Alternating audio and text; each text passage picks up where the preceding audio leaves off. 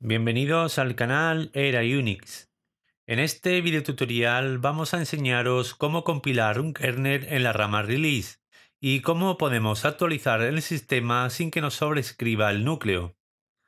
La rama release contiene la herramienta FreeBSD Update, que nos permite actualizar el sistema operativo a nivel de parches o a una nueva versión, y lo hace con paquetes que vienen precompilados. Las cuatro grandes áreas que se pueden modificar al actualizar son el kernel, el Word, que contiene utilidades, librerías, etc., el doc, que contiene toda la documentación del sistema, y por último el código fuente de FreeBSD.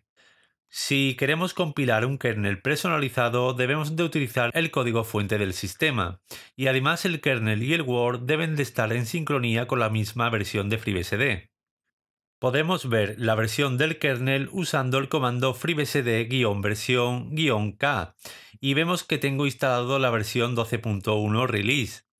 Pero si queremos saber la versión que tengo en el espacio de usuario o Word, podemos usar freebsd-versión-u o también usar las dos opciones a la vez podemos ver que están en consonancia el kernel y el Word, ya que las dos pertenecen a la versión 12.1, independientemente del nivel de parche, puesto que a veces los parches actualizan solo un área del sistema. Por ejemplo, a veces podemos encontrarnos que al actualizar el kernel se encuentre la versión 12.1 release P1, pero sin embargo el Word esté en la 12.1 release P2 o viceversa. Cuando instalamos por primera vez un sistema FreeBSD, tenemos la opción de instalar el código fuente de esa misma versión, y se instala por defecto en USR SRC. Como podemos ver, lo tengo instalado. Este código fuente se va modificando a medida que vamos actualizando el sistema con la herramienta FreeBSD-Update, es decir, que si estoy en la versión 12.1 y actualizo a la versión menor 12.2, el código fuente se actualizará también a la 12.2. Incluso si actualizamos a nivel de parche, el código fuente también se modifica. Esto es muy importante puesto que vamos a usar parte de ese código para compilar nuestro kernel y así nos aseguramos que el kernel y el Word siempre estarán sincronizados a la misma versión. Pero ¿qué ocurre si compilamos el kernel de mi versión y después actualizo el sistema? Puede ocurrir como dijimos en el video tutorial anterior, donde os pongo un enlace en la parte superior, que el kernel precompilado sobrescriba mi kernel personalizado o también puede ocurrir que si tenemos configurado FreeBSD-update para que no se actualice el núcleo, se rompa esa sincronización entre el kernel y el Word y puede generar errores en el sistema, pero vamos a poner en práctica lo dicho con un ejemplo. Como vimos anteriormente, estamos en un sistema con una nueva instalación de FreeBSD 12.1 de la rama release y mi código fuente lo tengo instalado. Vamos a comprobar si el código fuente está bajo su versión con el comando svnlite status usr-src. Y vemos en la salida que el código no trabaja con su versión, es decir, tengo el código fuente que instaló el sistema por primera vez.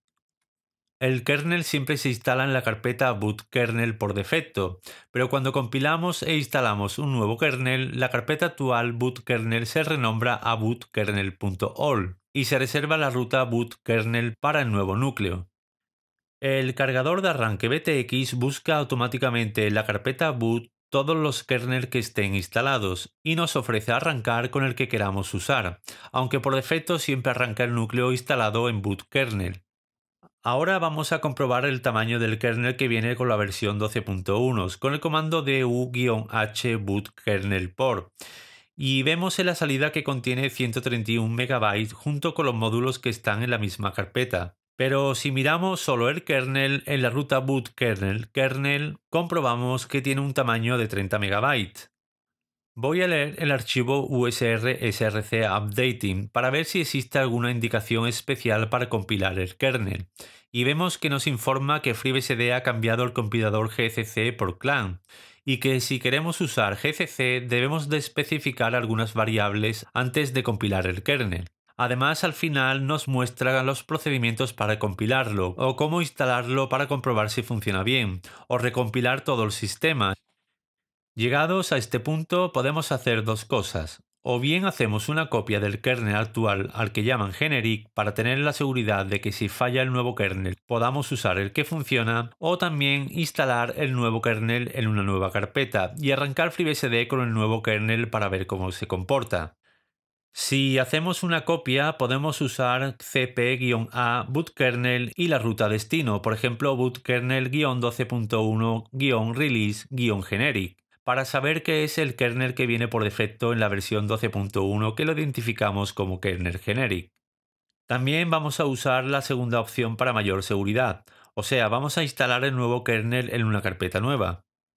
Antes de compilar un kernel es muy recomendable saber qué hardware tiene mi equipo, como la marca o modelo de los componentes, incluso los dispositivos integrados que vienen en la placa madre o mainboard, para determinar con precisión si el hardware es compatible con FreeBSD o si debemos de añadir algún driver que necesitemos incluir en el kernel antes de compilarlo.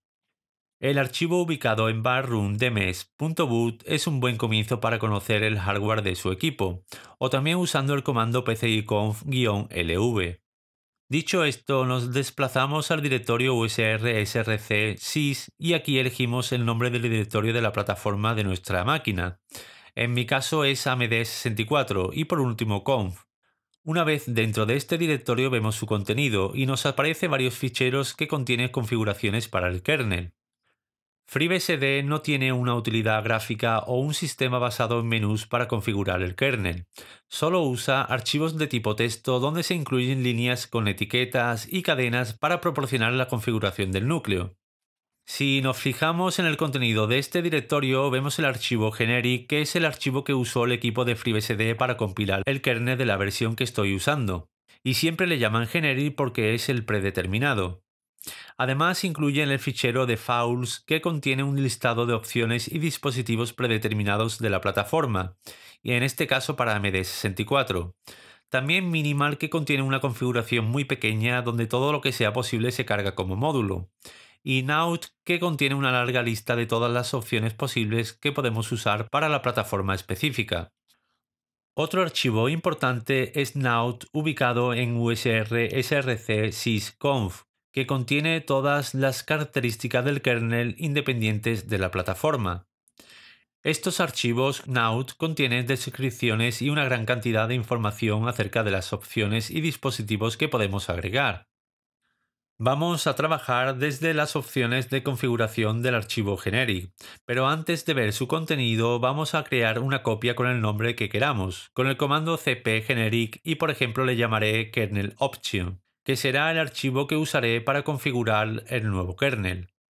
Lo abrimos con un editor y observamos algunas etiquetas como CPU que le indica al kernel qué tipo de procesador admitirá.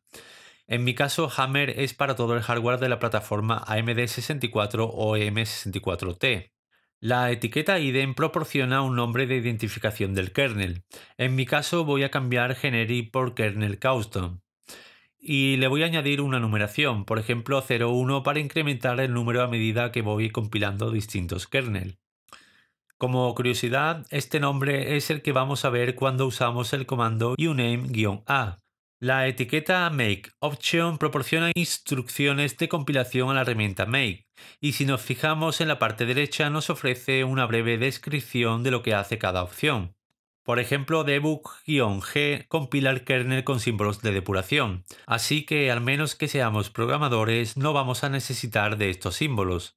Así que marcamos las dos líneas con almohadilla que hace que se comente la línea y que el kernel la ignore. La siguiente etiqueta que podemos apreciar es option, que son funciones del kernel que no requieren de hardware en particular. Son tecnologías o características que puede usar el kernel para su funcionamiento. Por ejemplo, Schedule ULE es el planificador del kernel llamado ULE, pero podemos usar otros como ForBSD, aunque ULE es el más usado. Además contiene características SMP, hiperproceso, entre otras cosas. Vemos que contiene una gran cantidad de opciones, así que deberíamos de conocerlas muy bien para desactivarlas. Por ejemplo, podemos desactivar compatibilidad con FreeBSD hasta la versión 10, que creo que es lo más razonable. La mayoría del software estará compilado para al menos versiones de FreeBSD superiores a la 9.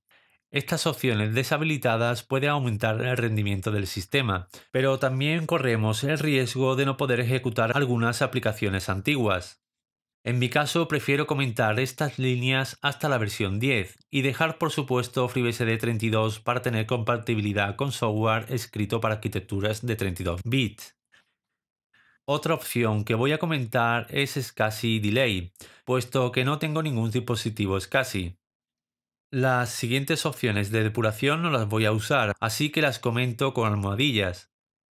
Ahora vemos otra etiqueta llamada Device, que nos proporciona controladores de dispositivos o driver al kernel, evitando que se carguen como módulos, así que podemos deshabilitar todas aquellas que no vayamos a usar, y así reducir el tamaño del kernel, con la posibilidad de aumentar el rendimiento del sistema. Por ejemplo, si no tenemos unidades de disquete, podemos comentar el controlador para que no lo incluya o quitar controladores ATA que no tengamos.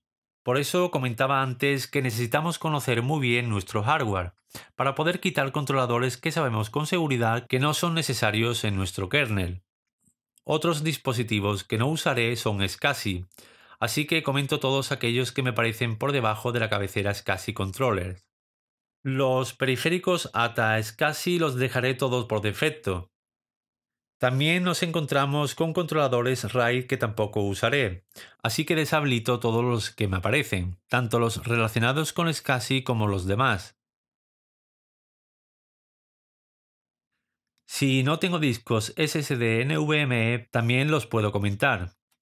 Como hemos dicho en otros vídeos, la configuración del kernel es muy personal y cada uno puede activar o desactivar distintas opciones o drivers según su hardware o sus necesidades. Los siguientes dispositivos que nos muestran son para el teclado, el mouse, VGA, BESA o Splash, que dejaré todo tal y como está. Y a continuación me aparecen controladores de vídeo para las consolas virtuales SC o VT, muy necesarias para mostrar las terminales por vídeo, pero si no vas a usar SC podemos desactivarlo. Por defecto FreeBSD 12 arranca el sistema con la terminal virtual VT, pero podemos usar Syscom si por algún motivo lo necesitamos así que lo dejaré tal y como está. Después viene controladores para soporte PCMCIA y como no tengo en mi equipo los desactivo todos. Y lo siguiente que me aparece es el puerto serial COM y el puerto paralelo que tampoco voy a usar, así que también los deshabilito. Seguidamente vemos los drivers para la NIC Ethernet. Aquí deshabilito todas menos la que usa mi tarjeta de red, que es RE, así que dejo sin comentar solo la plataforma MI Bus necesario como indica el comentario de la cabecera y RE que es el driver de mi NIC.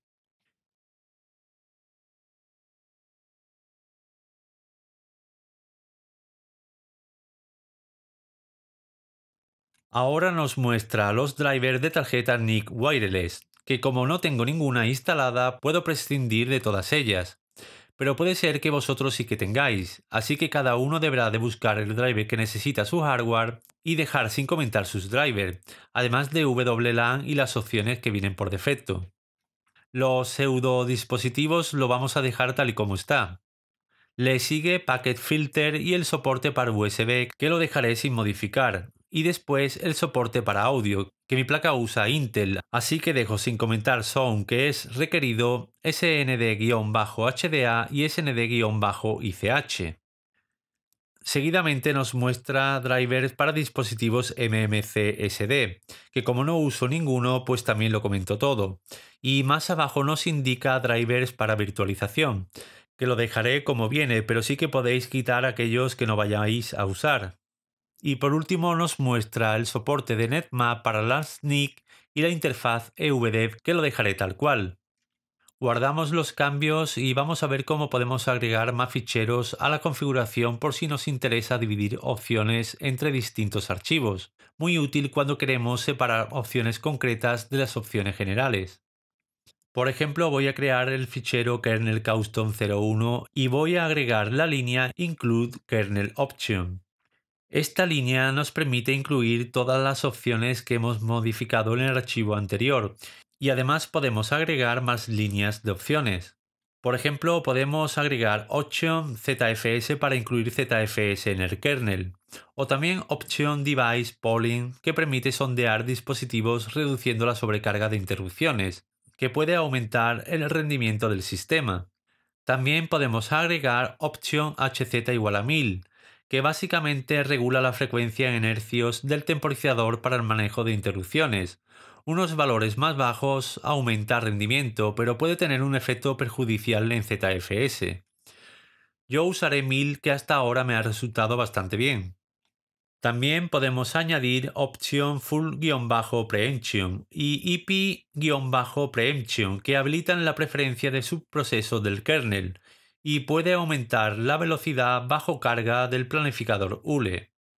Además, podemos añadir device CoreTem para el control de temperaturas de la CPU de Intel o AMD-TEM si tenéis CPU AMD y unos pocos drivers más como ACPI-Video, FuseFS, QSE, ASNI, UHID, UMS y TMPFS.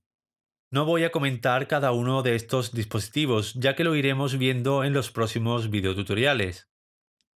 Bueno, pues vamos a probar esta configuración donde hemos eliminado parte de los componentes y funciones que no vamos a usar y también añadido algunas otras que nos pueden servir. Y compilaremos por primera vez un kernel en el sistema para ver cómo funciona. Como vemos en la salida del comando ls, hemos generado dos archivos. Primero el kernel option, donde contiene opciones generales, y después kernel custom 01, que es el fichero principal que usaremos para compilar puesto que en este ya incluimos el primero con la etiqueta include. Ahora podemos añadir a make.com algunas variables para que compile con algunas opciones que pueden aumentar el rendimiento. La herramienta make usa el archivo make.conf para configurar opciones globales cuando compilamos con make, pero no se encuentra por defecto en una nueva instalación aunque podemos guiarnos de un make.com de ejemplo ubicado en USR, SRC, Share, Samples, etc. make.com, que contiene información de algunas variables y sus valores como podemos ver. Vamos a crear un nuevo make.com, pero antes vamos a usar una herramienta llamada CPU Type que nos informará exactamente qué tipo de CPU podemos utilizar para la variable CPU Type del make.com así que procedemos a instalarla con pkg install hs-cpu. Una vez instalado ejecutamos cpu type y nos mostrará en la salida el tipo de CPU. En mi caso pone core 2, así que es el nombre que usaré para el tipo de CPU en el archivo make.com. Creamos el fichero y añadimos la variable cpu type signo de interrogación cerrado igual y el tipo de nuestra CPU. En mi caso nos dijo Core 2. También podemos añadir la variable cflag que modifica el comportamiento del compilador de C con algunas opciones, como guion O3, guion march igual a native, guion mtune igual a native o también guion pipe. Estas mismas opciones podemos ponerlas en la variable copflash, que es una variable que solo influye en la compilación de un kernel, o cxxflag más igual que influye en el compilador de C++. Sería muy largo de explicar cada una de las opciones, pero básicamente la O es el nivel de optimización del código. March y Mtune optimizan el código para la CPU indicada y para el juego de instrucciones y Pipe usa tuberías en vez de archivos temporales para compilar, reduciendo así el tiempo de compilación. Así que guardamos los cambios y continuamos. Antes de continuar, podemos revisar con el comando man el archivo src.conf, que nos proporciona abundante información de las variables que podemos usar en este fichero, que por defecto tampoco está creado en el directorio etc. Este archivo se usa para especificar variables y sus valores que usará la herramienta make para compilar solamente el código fuente del sistema. Sin embargo, las variables incluidas en make.com afectan a todo lo que se compile, ya sea el código fuente del sistema, un port o un software de tercero. Podemos usar algunas de estas variables en src.com, Así que nos creamos el archivo con un editor en etcsrc.com y podemos añadir without hacer debug igual a on, without debug igual a yes, without debug files igual a yes y también podemos desactivar las opciones without llvm target de todas las arquitecturas que no usemos. menos x86, así que vamos a copiar la primera línea varias veces y agregamos la arquitectura que no vayamos a usar. Guardamos los cambios en src.conf y ya estamos preparados para compilar el kernel con la herramienta make. No os preocupéis si ahora mismo no entienden cómo funciona Make, pero básicamente es una herramienta que facilita a los usuarios la tarea de compilar código fuente. Bueno, pues ahora podemos compilar con el comando make añadiendo "-j" y el número de cores o núcleos de la CPU más 1. Es decir, si mi CPU tiene 4 núcleos, le podemos poner 5, para que use todos los núcleos de la CPU para compilar. Y a continuación añadimos la variable kernelconf igual y el nombre que le pusimos al fichero principal de configuración, que le llamamos kernel 01. Y también podemos usar otra opción que es kdir igual añadiendo un nuevo directorio para nuestro kernel. Por ejemplo, boot kernel 01, seguido de build kernel que compilará el código fuente y por último install kernel que lo instalará en el directorio que le hemos indicado.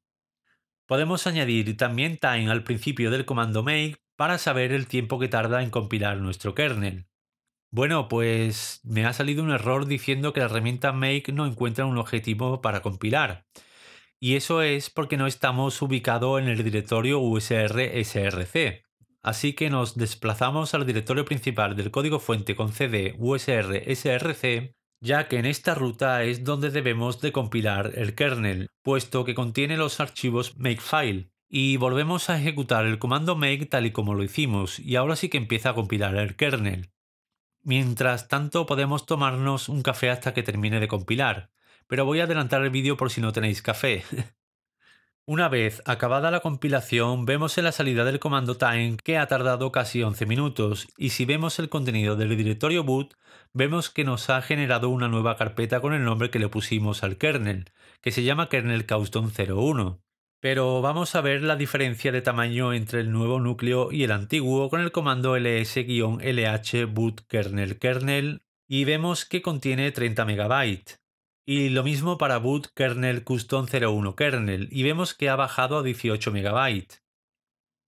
Ahora necesitamos reiniciar el sistema para iniciar con el nuevo kernel para comprobar que funciona y que no provoca ningún kernel panic o muestra errores. Y lo podemos hacer de dos formas. La primera es reiniciando el sistema y elegir el nuevo kernel en el cargador de arranque BTX, o ejecutar el comando nextboot-k y el nombre del directorio del nuevo kernel, o sea, kernel custom 01.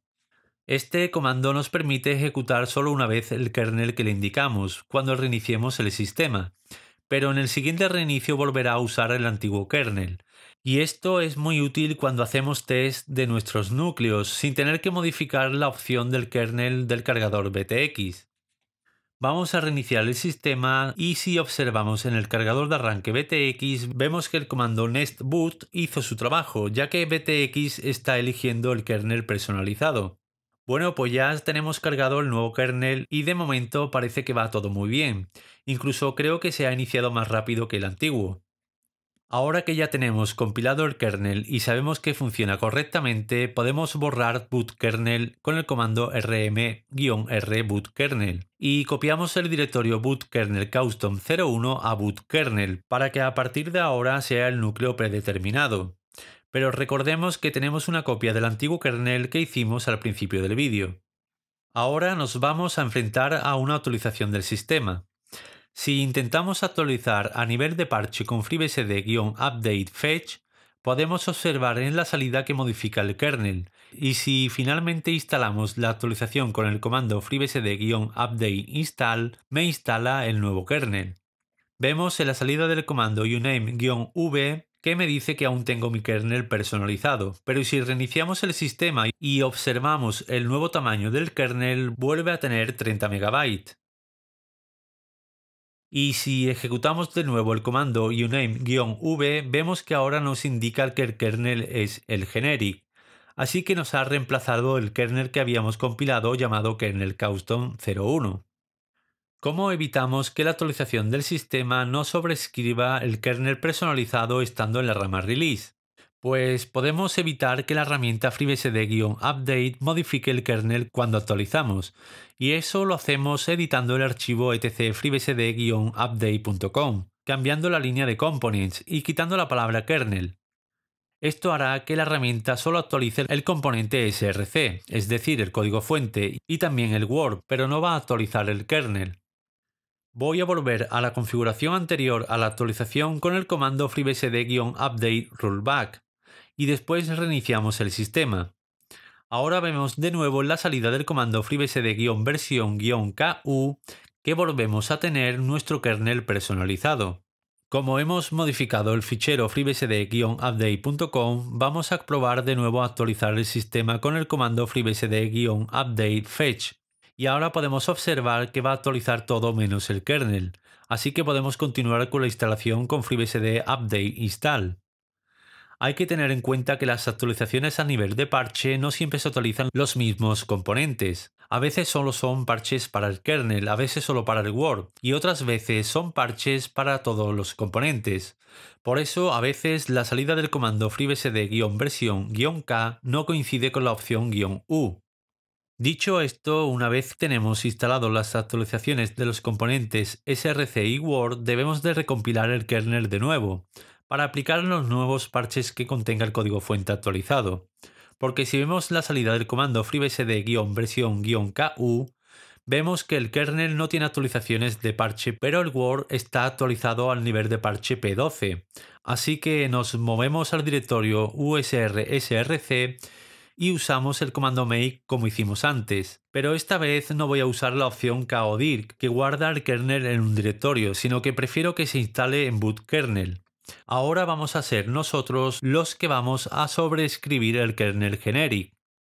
Una vez compilado e instalado, reiniciamos el sistema y ahora vemos en la salida del comando uname-v que tenemos de nuevo nuestro kernel personalizado y en la salida del comando freebsd-versión-ku observamos que tanto el kernel como el Word están actualizados al mismo nivel de parche, pero con nuestro kernel personalizado y compilado. Personalmente no me gusta modificar el archivo freebsd-update.conf porque prefiero dejar que sobrescriba mi kernel personalizado cuando actualizo y después compilar de nuevo usando el código fuente que ya actualizó la herramienta freebsd-update. Así que mi recomendación es actualizar siempre el sistema con FreeBSD-update sin modificar su archivo de configuración y una vez terminado compilar nuestro kernel personalizado, ya sea con actualizaciones a nivel de parche o a una nueva versión menor o principal. Así siempre tendremos sincronizados nuestro kernel con el Word y el código fuente. Otra cosa importante es guardar los archivos de configuración que hemos generado en una ruta independiente de USR SRC, ya que podemos perderlos al descargarnos un código fuente nuevo. Así que me creo una carpeta en Home y mi usuario Rafael que llamaré config kernel y copiamos mis archivos de configuración con el comando cp y además también haré copia de etcmake.conf y de etcsrc.conf para conservarlos. Bueno, pues hasta aquí hemos llegado. Espero que hayan comprendido cómo podemos compilar un kernel y cómo hacerlo en la rama release. Y con esto damos por concluido este vídeo. Si os ha gustado, no olvidéis darle a me gusta, suscribiros al canal y activar la campanita que aparece cerca de la suscripción para que no te pierdas más vídeos. Sin más, desde canal Era Unix os esperamos en el próximo video tutorial.